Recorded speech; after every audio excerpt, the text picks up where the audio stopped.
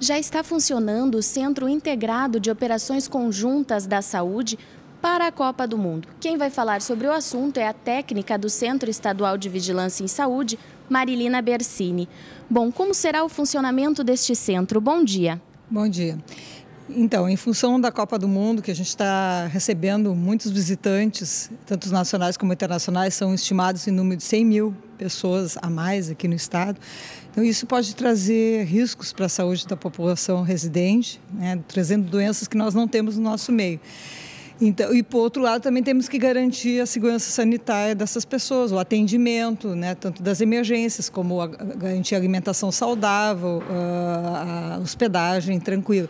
Em função disso, então, tanto a Secretaria Estadual da Saúde como as secretarias municipais de saúde, principalmente Porto Alegre e Viamão, né, Viamão é, está sediando a seleção do Equador, então, nós estamos fazendo um trabalho de preparação que já vem há, há mais de dois anos, desde 2011, na verdade, e agora está culminando né, a ativação desse centro integrado de pessoas conjuntas da saúde, que congrega tanto a área da assistência como a da vigilância de forma permanente durante 30 dias, né, desde, aliás, antes até de 5 de junho a 25 de julho, para monitorar todos os eventos de saúde pública que possam estar acontecendo com essa população que está chegando aqui no estado e tomar uma decisão, né? Uh, tomar as decisões necessárias para controlar o problema, seja qual problema for, né? tanto da área da sanitária, como do atendimento, como da vigilância.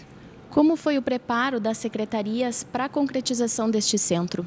É, então, tem havido reuniões, tanto no nível nacional como aqui no Estado, Uh, porque é uma operação complexa, né? São vários uh, segmentos da saúde uh, que tem que se entender, se entrosar e se organizar.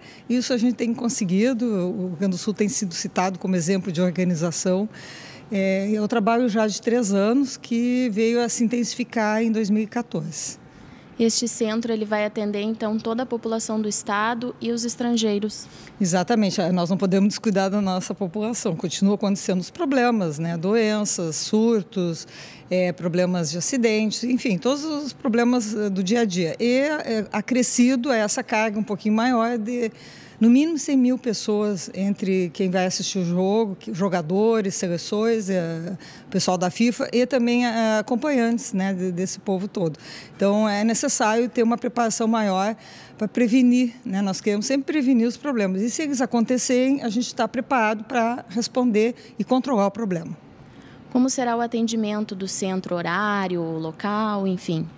É, o centro, o centro estadual está sediado na, no Centro Estadual de Vigilância e Saúde, que é uma estrutura do Estado, e vão estar trabalhando em regime de plantão eh, representantes das várias áreas, assistência, laboratório, vigilância, comunicação social é, e outros que são importantes, e, e, também junto com os municípios envolvidos. Né? E nós estamos também em rede com o interior, porque a população turística ela não para em Porto Alegre, né? ela vem assistir o jogo e vai para a Serra, vai para outros locais, e também nesses locais também tem que ter atendimento, assistência.